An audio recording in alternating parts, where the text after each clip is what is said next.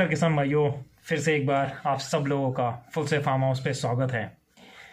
एक क्वेश्चन था हमारे किसान भाइयों का, जिसमें हमने जो ये पशुधन इंश्योरेंस एजेंसीज इंश्योरेंस बीमा या पशुधन बीमा के बारे में जो इन्फॉर्मेशन दी हुई थी, उसमें ही हमारे किसान भाई का एक क्वेश्चन था कि हम इंश्योरेंस जो है, वो पशुधन इंश्योरेंस हम कहाँ से निकाले?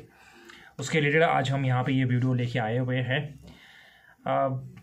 इसका जो क्वेश्चन था जो हमारे किसान भाई का, उसके बेसिस पे हमने जब इंक्वायरी की इनफैक्ट यहाँ पे हमारे किसान भाइयों के लिए हम ये इन्फॉर्मेशन देना चाहते हैं कि ये कोई किसी एजेंसी के बारे में प्रमोशन वाला वीडियो है नहीं है।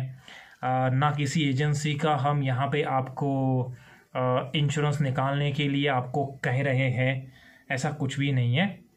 बस हमारे किसान भाई का जो क्वेश्चन था, उस क्वेश्चन के रिलेटेड हमने कुछ यहाँ पे इंक्वायरी की, कुछ सर्च किया, कुछ ढूंढा। उसके बाद में एक इंश्योरेंस एजेंसी जो है, जो हमारे सामने है, जिसके बारे में हम डिस्कस करेंगे। एंड हम यहाँ पे हमारे किसान भाइयों को बता देंगे कि आप वो इंश्योरेंस एजेंसी जो है, उसमें क्या इन्फॉर्मेशन है और हमारे किसान भाइयों के लिए वो कैसे बेनिफिट होगा। अगर आपको कोई इंश्योरेंस जो पशुधन बीमा निकालना है तो उसमें भी क्या होगा? उस पॉलिसी की जानकारी प्लस उस पॉलिसी के तहत क्या देय है? पॉलिसी के तहत क्या देय नहीं है? ये सब हम यहाँ पे डिस्कस करेंगे। बट आपको इंश्योरेंस कौन सा लेना है? आपको पशुधन इंश्योरेंस कहाँ से निकालना है? ये खुद आप और भी इंफॉर्मेशन लेके आपके आसपास के इलाके में जो इंश्योरेंस लोगों ने निकाला हुआ है उनसे जानकारी लेके फिर आप इंश्योरेंस निकाल लेना। यहाँ पे मैं एक आपको बस एक ऑप्शन बता रहा हूँ।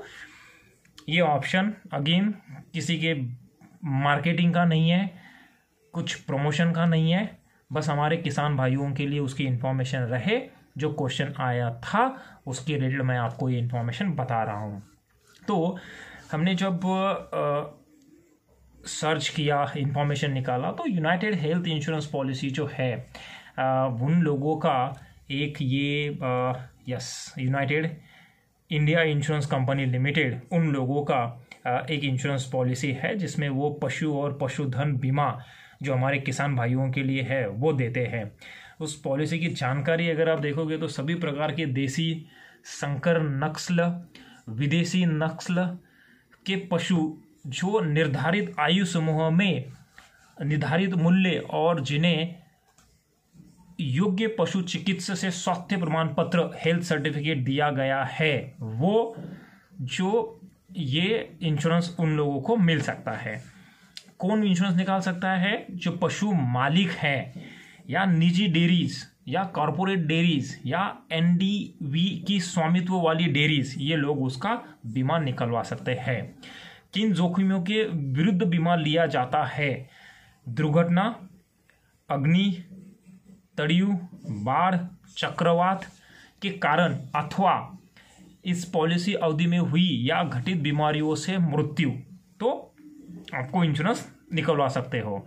अतिरिक्त प्रीमियम देकर स्थायी पूर्ण अशक्त अर्थता दुधारू पशु का गर्भधारण या दूध देने में पूर्ण रूप से अशक्त होने पर का भी कवर आप ले सकते हो। तो ये पॉलिसी की अवतरित क्या होगा? पॉलिसी में क्या हो सकता है?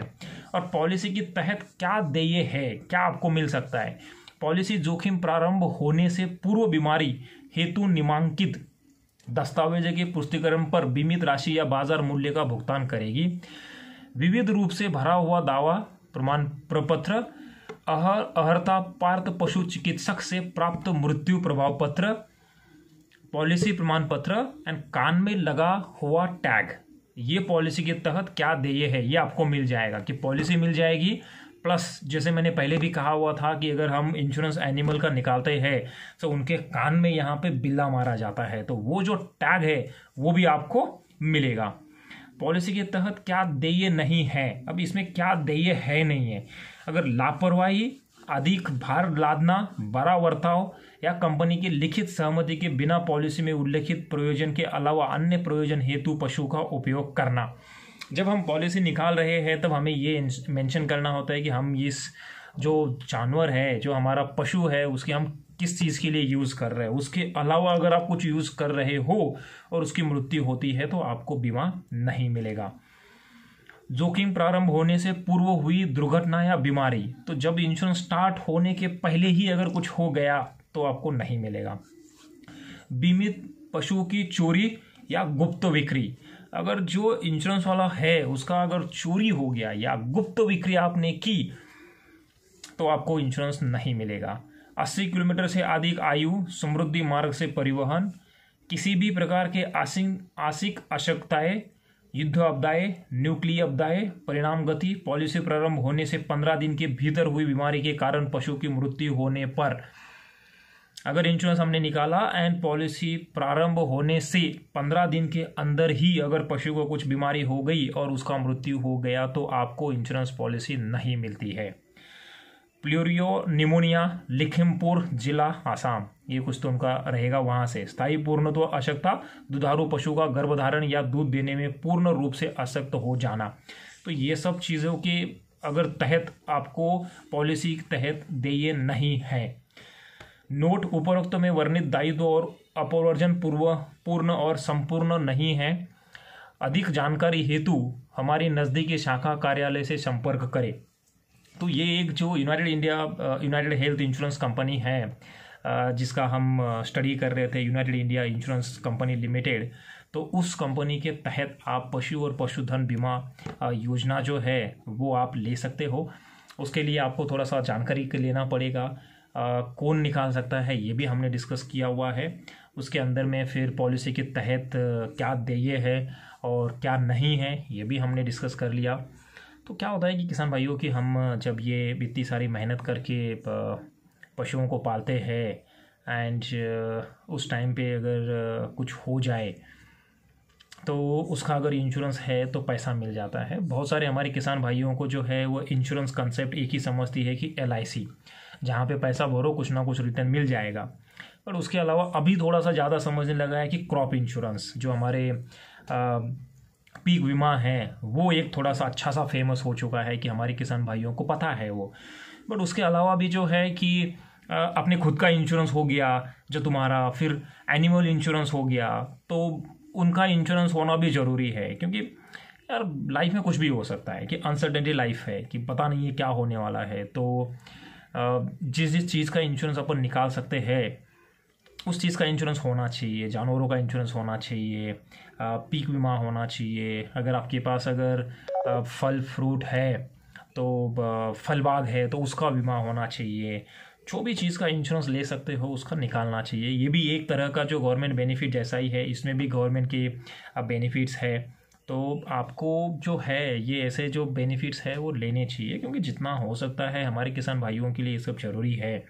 एंड ये अगर हम इंश्योरेंस एजेंसीज ये सब जो हमारे पशुओं का बीमा जो है वो अगर नहीं कराएँगे तो बाद में कुछ होता नहीं है। मतलब इतना अपने ज़्यादा केसेस है नहीं है। बट अगर कुछ हो गया अभी बीच में, जैसे बीमारी आई थी तो कुछ हो गया तो यार, आजकल पशुओं की प्राइसेस भी बहुत बढ़ गई है।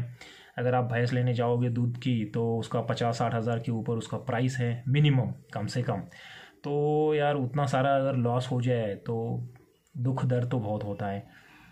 क्योंकि मैंने भी देखा हुआ है लोगों के पशुओं को कुछ होता हुआ, उनके भी दर्द मैंने देखे हुए हैं। तो यार, वो सब चीज़ों को देखते हुए ना तो ये अगर, चलो, जानवर गया तो गया, कुछ कर नहीं सकते हैं बट उसके रिलेटेड अगर हमने इतना मेहनत करके उसको पाला हुआ है, और ऐसे कोई इंश्योरेंस एजेंसी है गवर्नमेंट की स्कीम है, पशुधन योजनाएँ हैं, जहाँ पे इंश्योरेंस प्रीमियम बहुत कम भरना पड़ता है गवर्नमेंट के बेनिफिट्स हैं तो वो लेना चाहिए वो, और जितना तुम ये सब चीज़ों में थोड़ा सा ध्यान दोगे उतना हमारे किसान भाइयों के लिए वो हेल्पफुल हो जाएगा।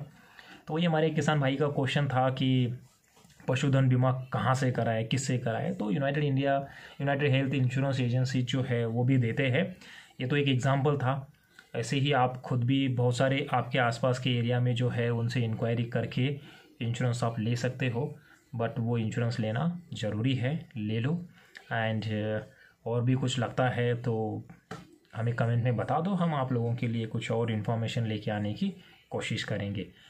बने रहिए हमारे साथ में फुल से फार्म हाउस वीडियो अच्छा लगा तो उसको लाइक करो, ज़्यादा से ज़्यादा हमारे फार्मर भाइयों तक शेयर कर लो, ताकि उनको भी ये इन्फॉर्मेशन पता चले। एंड अपने जो पशुधन है, वो धन का संभाल करो। एंड इंश्योरेंस जो है, वो निकालो, क्योंकि वो आपके लिए फ़ायदे का होगा। वापस एक बार कह रहा हूँ कि ये एक इन्फॉर्मेशन है आपके लिए। अगर आपको इससे भी अच्छा कोई और इन्फॉर्मेशन मिलता है, जिससे आप कौन सी इंश्योरेंस एजेंसी आपको लेना है, ये समझता है, बताता है कोई, या आसपास कुछ है तो वो इंक्वायरी करके अच्छा सा इंश्योरेंस आप निकालो। जय जवान, जय किसान।